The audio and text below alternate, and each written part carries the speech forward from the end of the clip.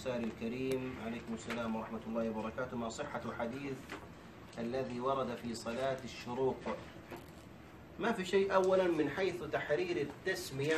لا يوجد شيء اسمه صلاة الشروق يا أخوان ولا يوجد اسمه صلاة الإشراق إنما هي تعد من الضحى.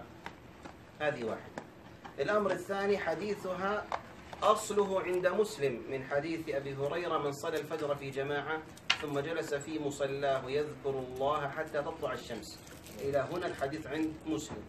الزيادة عند الترمذي مختلف فيها تصحيحا وإعلالا وتضعيفا.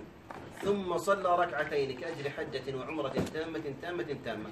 حسنها العلامة الألباني رحمه الله وضعفها غيره. والله أعلم.